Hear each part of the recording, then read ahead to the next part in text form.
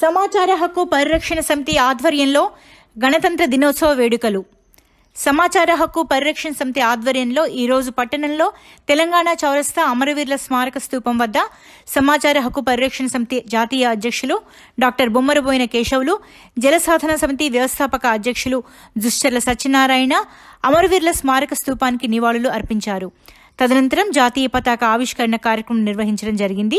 ఈ కార్యక్రమంలో సమాచార హక్కు పరిరక్షణ సమితి నల్గొండ జిల్లా కన్వీనర్ కత్తి భాస్కర్ రెడ్డి జిల్లా అసోసియేట్ ప్రెసిడెంట్ బచ్చగోని దేవేందర్ మహిళా విభాగం జిల్లా convener Chintapalli Sadalakshmi Jyothi Yadagiri K Satyanari V Sami MD Nafees Yadaiah Saidulu Naik తదితరులు పాల్గొన్నారు.